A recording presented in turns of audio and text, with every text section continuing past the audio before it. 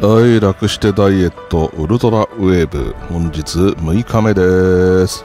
はい横から揺れてるシーンを撮ってます。お腹と胸がね結構揺れますよ。そして次は背中のお肉がブルブルブルブルと揺れております。はい背中の揺れが終わりましたら今度は正面の下から撮ってます。はいお腹揺れてもりますよ。ブルブルブルブル揺れます。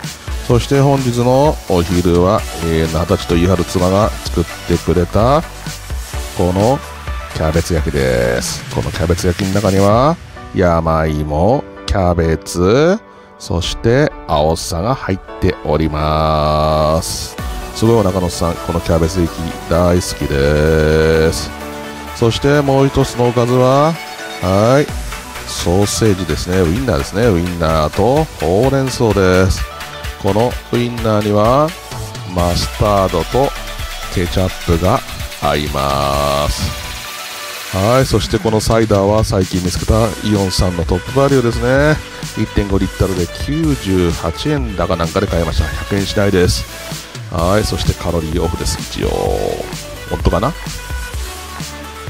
はい、そして本日の体重は、さあ何キロ？何キロ？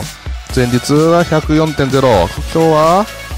今日は？103.6キロです。昨日より 400g ほど痩せることができました。